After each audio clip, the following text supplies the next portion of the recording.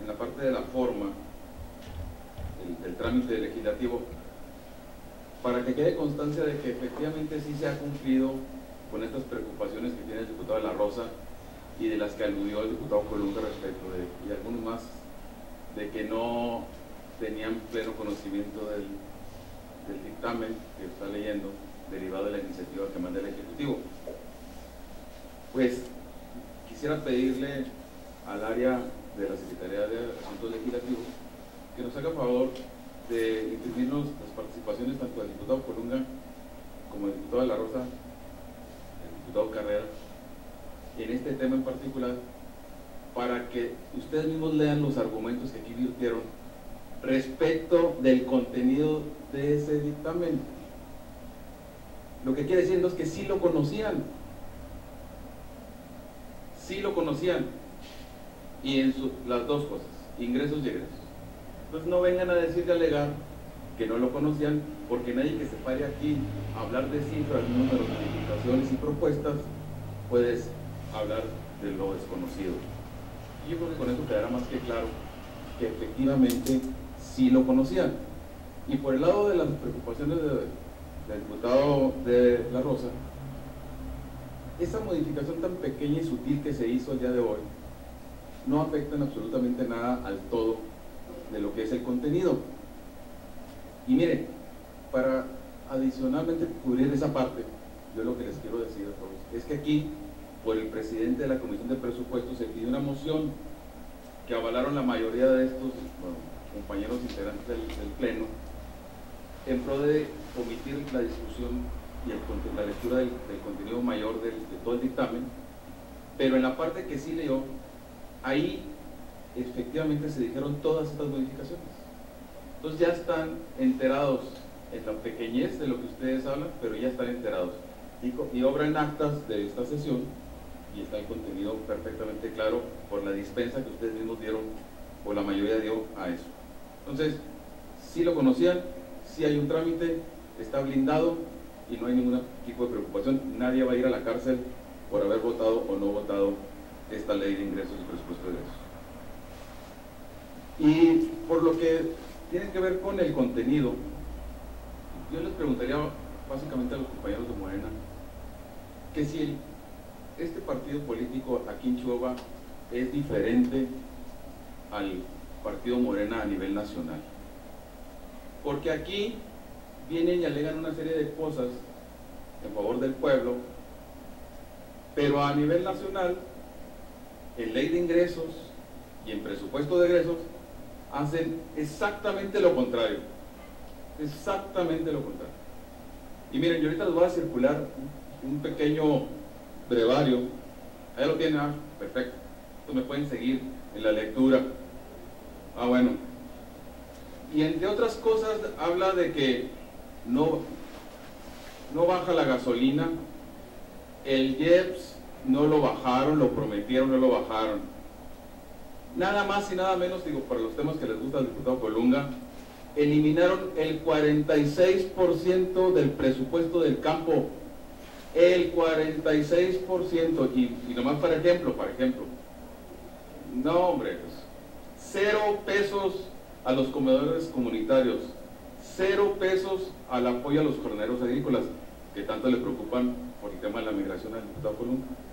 Cero diputados, por favor, silencio, deje que termine el orador. Estoy hablando, estoy hablando, diputado, del doble discurso que tienen. doble discurso. Este, no, doble por favor, discurso. Si permiten. Mire, compañero, yo sé que le puede mucho y que está en estado de indefensión. Jurídicamente así se llama, estado de indefensión el que usted tiene. Porque las promesas que hizo el presidente López Obrador no las está cumpliendo. Y usted no tiene manera de defender esto. Si ya lo leyó, lo voy a repetir nomás para que conste en la sesión y en el acta y lo pueda repetir. Y también pido que hagan un videoclip de esta propuesta porque eh, pues no, no cumple con, con darle la espalda al pueblo. Cero pesos al programa de fomento ganadero. Cero pesos al crédito popular y cooperativo. Cero pesos para el apoyo a la comercialización del campo, en el, tema del campo.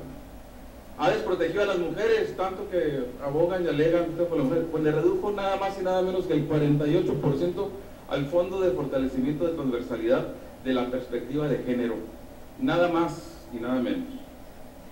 Luego, para el tema de seguridad pública, del tan llamado tema y tratado de, de la Guardia Nacional, están nada más y nada menos que tomando control de todas las policías a través de esta farsa que le llaman Guardia Nacional. Le quitaron el 21% de los recursos para la seguridad pública a los municipios, nada más y nada menos, 21%. Súmenle todo el país. Disminuye el tema educativo, una barbaridad. Nada más a la máxima casa de estudios le quitaron 1.700 millones de pesos. Y algo muy importante que es obra, era participación concursable a través de proyectos que el Estado de Chihuahua estaba teniendo como número uno, número uno a nivel país, con CONACYT, le están restando 2.300 millones de pesos.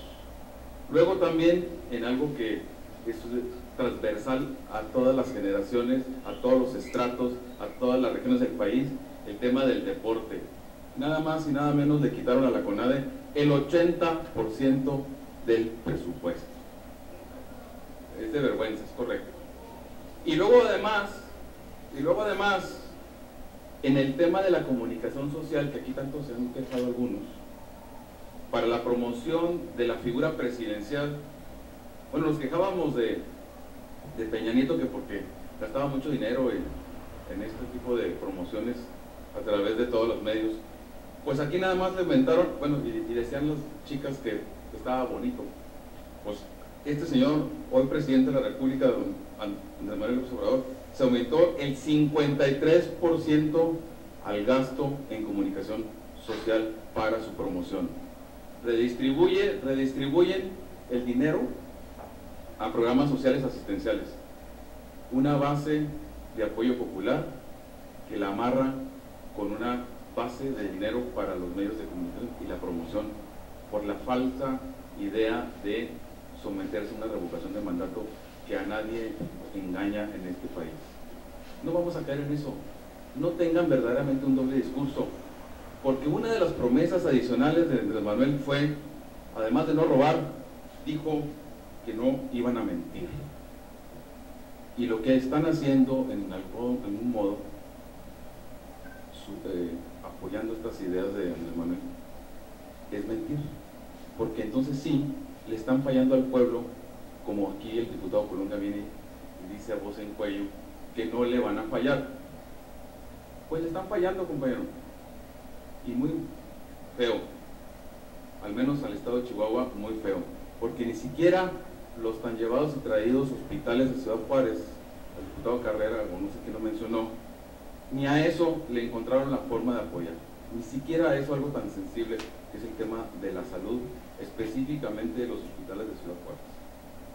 Y luego dicen que aquí a nosotros nos gusta apoyar a las grandes empresas y demás. Y yo nomás de corolario le digo al diputado Carrera, que creo que fue que dijo ese comentario de las grandes empresas que apoyamos nosotros. El pasado fin de semana en el Estadio Azteca, el hijo del señor presidente, Andrés Manuel, estaba nada más y nada menos al lado del dueño de la empresa Televisa en el palco de Televisa en el estadio. ¿Es cuánto, señor presidente? Gracias, diputado.